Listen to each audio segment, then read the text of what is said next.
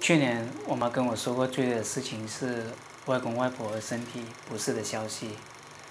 我想时光不等人，所以利用春节假期的这几天时间，通过自己的镜头，去记录他们一家平凡人平凡的生活。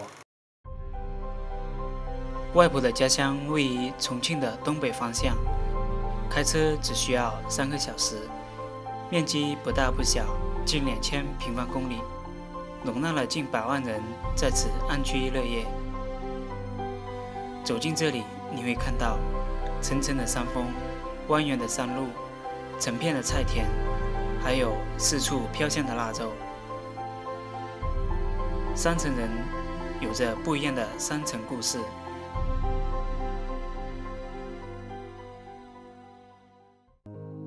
前两年，外婆家被拆迁，在原来的基础上又盖了一座。铁皮屋子，跟外公两人相依为命，每天日出而作，日落而息，守候着这片美丽的土地。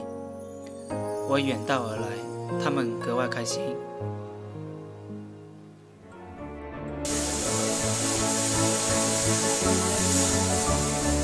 那晚点吃得完了，因为我是讲，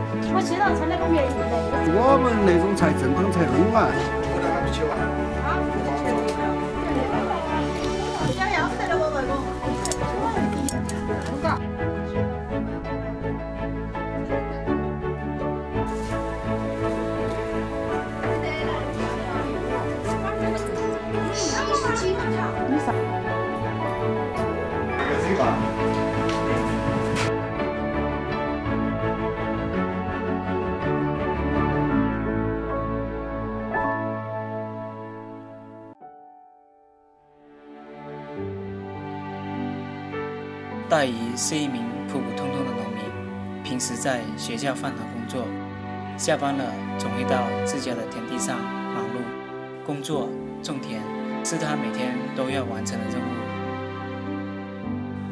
小溪的流水潺潺而过，夕阳下显得格外动人。大姨家的孙女也会拿出自行车，在乡间的道路上尽情的放飞，尽情的舞蹈。我拿着无人机在田野上记录着，乡亲们看到了，好奇的围观。在他们看来，这是一件美妙而又罕见的高科技。